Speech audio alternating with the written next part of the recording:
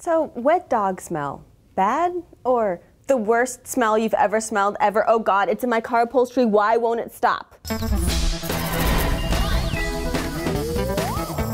Hello everyone, welcome to D News. Now, I don't have a dog, I'm actually a cat person, but even I am familiar with the stench of a wet canine. What is it about water that makes man's best friend so odoriferous? The answer lies a little bit with the yeast and bacteria living in your dog's ratty mange, oh, I mean silky coat, and a little bit with the way we perceive smells in general. It can't be helped. Even the most pampered pooch is a breeding ground for yeast and bacteria. Your dog's skin and fur is a hospitable home for microorganisms because it offers the warmth and humidity that they need to really thrive. Growing happily on their doggy hosts, these microbes absorb nutrients from their environment and excrete waste in the forms of smelly gases and other molecules. Now, some colonies of microorganisms smell delightful. Bread, beer. Others, BO, moldy leftovers, cheese, really reek. So, what is it about a wet dog that's so special?